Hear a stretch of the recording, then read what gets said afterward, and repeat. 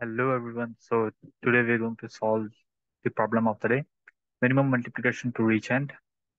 तो इस प्रॉब्लम में क्या बोल रहा है कि एक स्टार्ट और एंड दिया होगा और एक एरे दिया होगा एन नंबर्स का और हर एक स्टेप पे जो स्टार्ट हुआ है वो मल्टीप्लाई होगा एरे एलिमेंट से ठीक है और हमें पता लगाना है मिनिमम स्टेप्स क्या हैं जिससे हम एंड तक पहुँच सकें सो फॉर एग्जांपल जो टेस्ट केस पहला वाला दिया हुआ है टू एरे एरे में है टू फाइव और सेवन और स्टार्ट हमें करना है थ्री से। तो हम क्या कर सकते हैं यार? थ्री को हम मल्टीप्लाई कर सकते हैं टू से ठीक है? फाइव से मल्टीप्लाई कर सकते हैं और सेवन से मल्टीप्लाई कर सकते हैं। तो जब थ्री को सेवन से करेंगे तो हमें रिज़ल्ट मिलेगा ट्वेंटी वन सिमिलरली जब फाइव से करेंगे तो मिलेगा फिफ्टीन और टू से करेंगे तो मिलेगा सिक्स राइट अब अगेन इन तीनों को फिर से हम टू फाइव और सेवन से मल्टीप्लाई कर सकते हैं।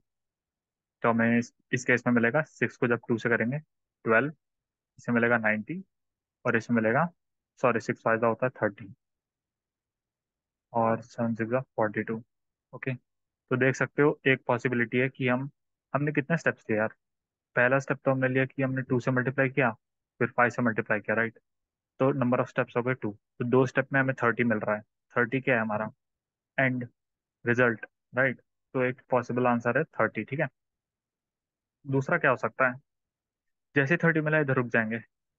और क्या हो सकता है कि हम फिफ्टीन जो है फिफ्टीन हाँ फिफ्टीन जो है, उसको टू फाइव और सेवन से मल्टीप्लाई कर सकते हैं। और जब टू से करेंगे तो हमें मिलेगा थर्टी फाइव से करेंगे सेवेंटी फाइव और सेवन से करेंगे I guess one thirty five होता है। वन थर्टी फाइव नहीं होता है हंड्रेड एंड फाइव होता है। बट ठीक है यार। हंड्रेड एंड फाइव तो इधर भी दो स्टेप के अंदर मिल रहा है, एक बार फाइव किया, एक बार टू से मल्टीप्लाई किया तो हमें थर्टी मिल रहा है, ठीक है? फिर इधर देखते हैं। इधर तो हम टू फाइव और उससे कर रहे हैं तो बिल्कुल थर्टी तो मिल ही नहीं रहा, क्योंकि सेवन तो है ही ना मल्टीपल थर्टी का।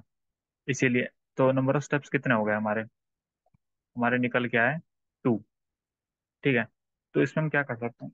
असल में ये डीपी से भी बनाया जा सकता है बट मैं इसको डाइकेस्ट्रस एल्गोरिथम से सॉल्व करने वाला हूँ।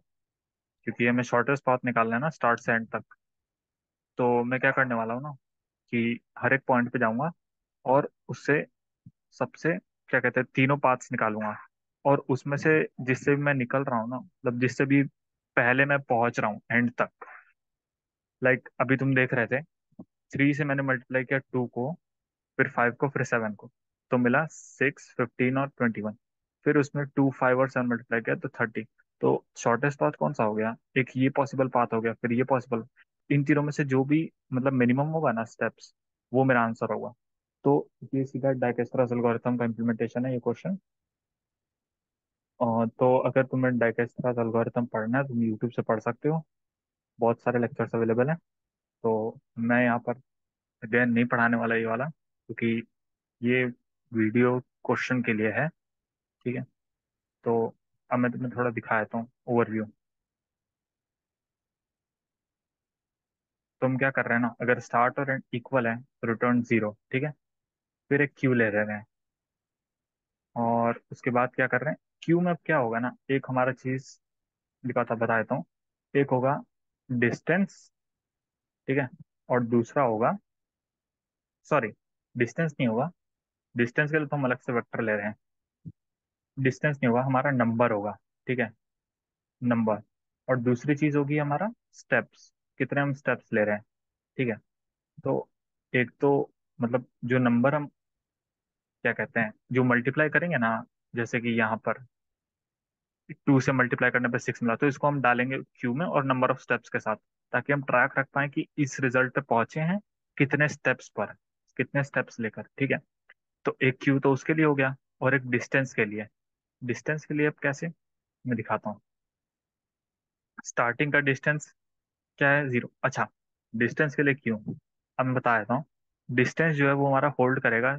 जहाँ, लाइक, एंड तक हम जा रहे हैं ना, एंड सपोज़ थर्टी था तो थर्टी तक जाने के लिए कितना डिस्टेंस लगा? इनिशियली सपोज़ हमारा टू, थ्री लग गया, ठीक है? मान लो थ्री लग गया। आगे चल के हमें मतलब हम ट्रैवर्स किए और हमको मिला टू। तो हम कंपेयर किससे करेंगे? हमको तो थ्री चाहिए होगा ना तो इसलिए हम वो यूज़ करेंगे डिस्टेंस एक वेक्टर यूज़ करेंगे, ठीक है? तो ये डिस्टेंस वेक्टर और स्टार्ट नोड पे ज़ीरो रहेगा क्योंकि हर एक नोड का डिस्टेंस खुद से तो ज़ीरो ही होता है। और इधर बोला गया है कि ना आंसर बड़ा हो सकता है तो इसीलिए हमें क्या कहते हैं ten to the power five का मॉड लेना है। तो मॉड डिफाइन कर दिया, फिर क्या किया? इनिशियली पुश कर दिया क्यू में, फिर वाइल क्यू नॉट एम पहला नोड निकाल लिया मतलब पहला पेयर पहला पेयर किसका है? नंबर का। और स्टेप का। तो हमें क्या मिला? हमें क्या मिला? थ्री मिला, ठीक है? थ्री मिल गया। अब थ्री को पॉप कर दिया। अब थ्री कॉमा ज़ीरो है इधर, ठीक है? क्यू के अंदर। क्योंकि दूसरी चीज़ तो स्टेप है ना। थ्री तक पहुँचने के लिए कितना स्टेप है? ज़ीरो तो उसके बाद क्या किया? एरे में ट्रैवर्स किया। एरे में क्यों ट्रैवर्स कर रहे हैं? क्योंकि हमें ये जो नंबर है, इसको मल्टीप्लाई करना है ना, तीनों एलिमेंट से। इसीलिए। तो फिर क्या किया? नया नंबर निकाला। और साथ ही साथ मॉड भी ले लिया क्योंकि ओवरफ्लो ना हो। फिर चेक कर रहे हैं, अगर स्टेप प्लस वन क्योंकि जैसे ही हमने मल्टीप्लाई किया, हम एक स्टेप आगे बढ़े ना, इसीलिए स्टेप प्लस वन अगर कम है डिस्टेंस ऑफ़ न्यू नंबर ये देखो डिस्टेंस ऑफ़ न्यू नंबर तुमको क्या देगा? दिखाता हूँ। डिस्टेंस ये देखो रिज़ल्ट न्यू नंबर कुछ नहीं है रिज़ल्ट है, ठीक है सिक्स अब शुरू में तो अब तुमने अगर डाइकेस्ट्रस एल्गोरिथम पढ़ा होगा तो शुरू में सारे हम जो पोजीशंस होते हैं ना लाइक नोड्स उसको हम इंफिनिटी से मार्क करते हैं। क्योंकि इनिशियली मानते हैं कि वो सारे एक तरह से अनविजिटेड हैं। और जैसे विजिटेड होते हैं, हम उन पे मतलब जो भी वैल्यू होती है, उससे अपडेट कर देते हैं, ठीक है? तो वही चीज़ है, ये कंडीशन वही है कि डिस्टेंस ऑफ़ नया नंबर जो है, पुराना जो डिस्टेंस था, वो अगर लंबा है अभी वाले से तो हम क्या करेंगे? सीधा अपडेट कर देंगे। और फिर ये भी चेक कर लेंगे, क्या हम डेस्टिनेशन पर पहुँच गए हैं कि नहीं? लाइक ये जो नया नंबर है ना सिक्स क्या ये इक्वल है हमारे थर्टी से? अगर नहीं है तो कुछ नहीं करेंगे, वापस मतलब नया नंबर एक और बार निकालेंगे इस तरह से। और अगर पहुँच गए हैं तो क्या करेंगे? स्टेप प्लस वन रिटर्न अब स्टेप प्लस वन क्यों? क्योंकि स्टेप तो स्टेप को हम कहाँ इंक्रीमेंट कर रहे हैं? स्टेप को हम तभी इंक्रीमेंट कर रहे हैं, जब हमारा, क्या कहते हैं, जब हमारा कम है। मतलब यहाँ तक सिक्स वाला जो पहुँच रहे हैं ना अगर वो कम है तभी हम अपडेट कर रहे हैं। इसीलिए रिटर्न स्टेप प्लस वन और बाद में क्या कर रहे हैं? साथ ही साथ अगर देखो अब अगर नहीं पहुँचे हैं एंड पर तो क्या करेंगे क्यू में पुश कर देंगे। लाइक like, इधर मैं तुम्हें बार अच्छे से ड्रॉ करके बता देता हूँ। बोर्ड ले लिया। थ्री यहाँ था सिक्स यहाँ था फिफ्टीन यहाँ था ट्वेंटी वन यहाँ पर क्या है? क्यू में। थ्री कॉमा ज़ीरो अब इसके लिए चेक करेंगे, क्या सिक्स हमारा एंड है? एंड क्या था हमारा? थर्टी था ना? सिक्स थर्टी के इक्वल नहीं है तो क्या करेंगे? क्यू में पुश करेंगे। ये तो पॉप कर दिया। क्यू में अब क्या पुश होगा?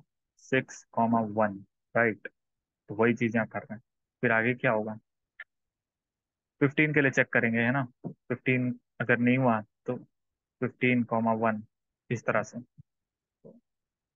इस तरह से क्यू में पुश करेंगे। और अगर एंड तक हम पहुँच ही नहीं पाए तो लास्ट में माइनस वन रिटर्न कर रहे हैं।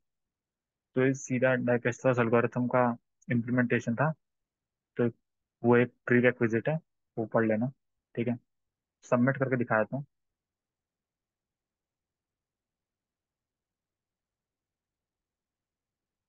ठीक है थैंक यू